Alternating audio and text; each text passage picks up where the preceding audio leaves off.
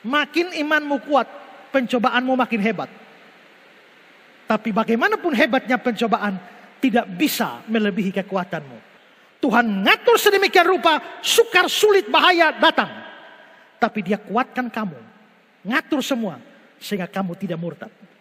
2 Tesalonika 3 ayat 3. Tetapi Tuhan adalah setia.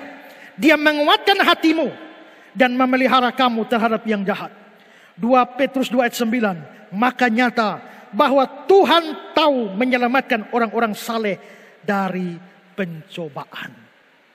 Maka orang percaya mengalami segala macam hal, tapi dia tetap kuat. Kalau kamu benar-benar anak Tuhan, kamu benar-benar orang percaya, semua janji ini berlaku bagi kamu. Sekalipun menderita, kamu tidak akan sampai gila atau bunuh diri atau murtad. Tidak. Karena kalau sampai itu terjadi, janji Tuhan batal.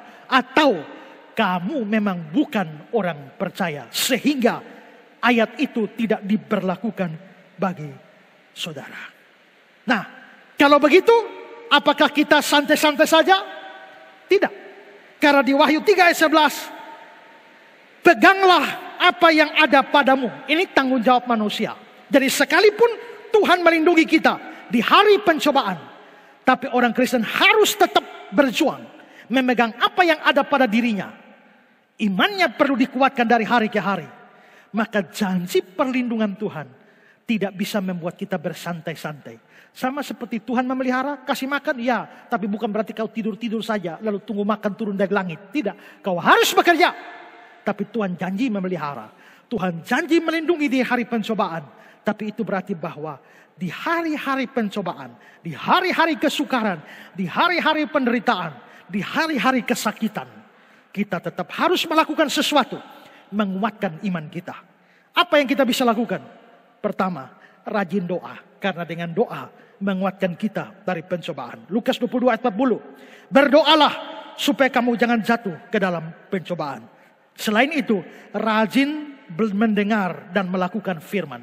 Itu menguatkan kamu. Lukas 8 ayat 13. Yang jatuh di tanah yang berbatu-batu ialah orang yang setelah mendengar firman menerima dengan gembira. Tapi mereka tidak berakar, mereka percaya sebentar saja dan dalam masa pencobaan mereka murtad. Kenapa? Tidak berakar di dalam firman. Karena itu berakarlah di dalam firman. Kuatlah di dalam firman.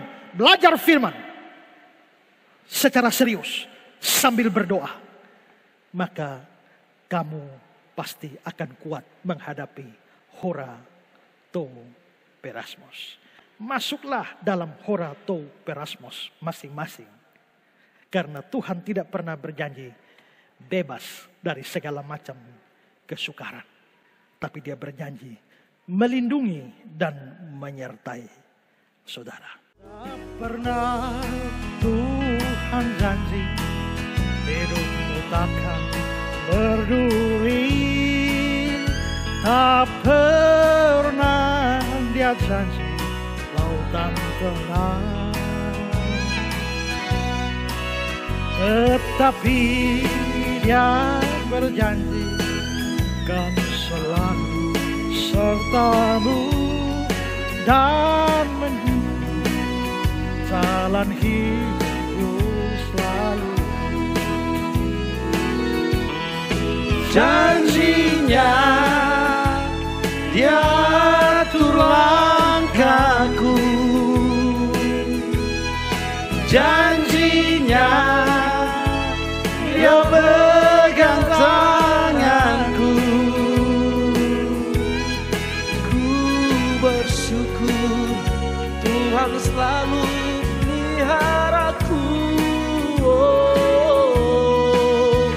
Ku tahu satu kali awan gelap kan berlalu Sang surya bersinar dengan megah. Dan bulan dan bintang menampakkan wajahnya. Haleluya Tuhan puaskan jiwaku